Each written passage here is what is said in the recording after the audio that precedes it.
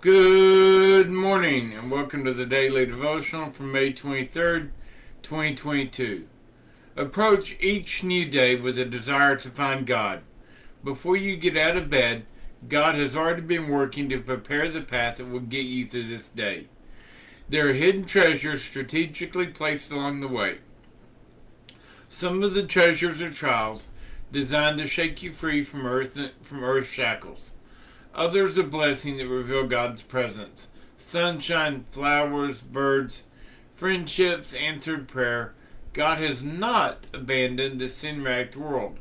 God is still richly present in it. Search for deep treasure as you go through this day. You will find God along the way. Scripture.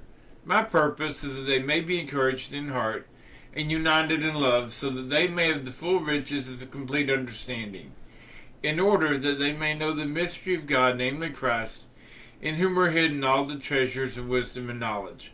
Colossians chapter 2 verses 2 and 3. He will be he will be the sure foundation for your times, a rich store of salvation and wisdom and knowledge. The fear of the Lord is the key to this treasure. Isaiah 33 verse 6. Scripture. Prayer. Lord, help me to approach this new day with the desire to find you and your hidden treasures along the way. I know are trials meant to teach me to depend on you more.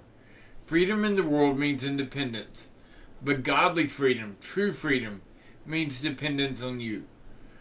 God, more and more, in Jesus' name, amen. And I hope everyone is having and continues to have a happy, healthy, and blessed day and week to come.